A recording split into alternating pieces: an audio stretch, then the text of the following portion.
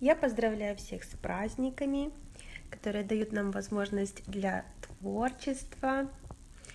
Вот такие вот замечательные куличи у нас сегодня. Я поделюсь сегодня этим рецептом с вами. Такие куличи подойдут отлично для любого праздника в виде кекса. Сегодня мы их будем пробовать. Вот такие у нас. Такая вот у нас была минутка творчества.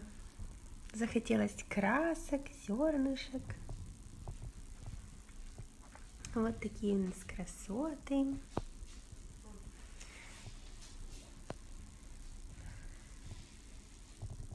Желаю всем отличного настроения, отличный день, еще и праздник.